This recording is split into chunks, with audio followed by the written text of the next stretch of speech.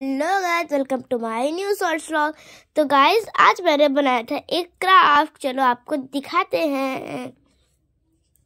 तो गाइस पहला ये है पार्टी पॉपर इसमें हम लोग थोड़े से कट मतलब पेपर को कट करके इसमें डालेंगे और ऐसे करके, करेंगे तो ये ऐसे करके उछल जाएगा।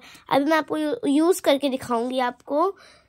और एक ये ड्रॉर है ड्रॉर है, मैंने बनाई है माचिस के डिब्बों से।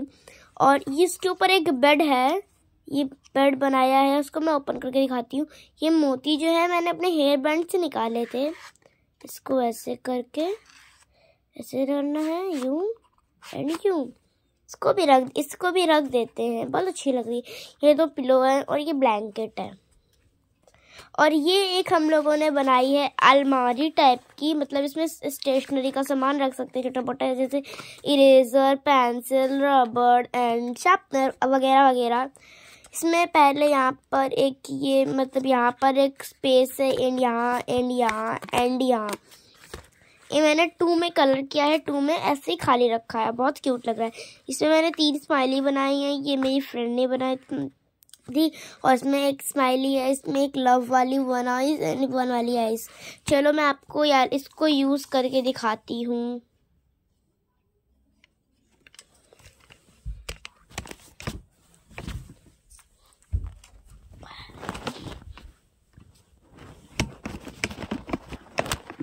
तो गाइस ये है एक बॉक्स मैंने बनाया था इसमें ये पेपर कटआउट्स रखे हैं। चलो उसको ही मैं इसमें डाल, दिखाती हूँ। जैसे इसमें ऐसे एस के अंदर फिल कर देंगे, जिससे ये सारा नहीं भरूँगी, वरना ज़्यादा कचरा कचरा हो जाएगा। चलो दिखाती हूँ। इसको से फिल कर देंगे। ऐसे ये सब पूरा सामान। ये देखो गाइस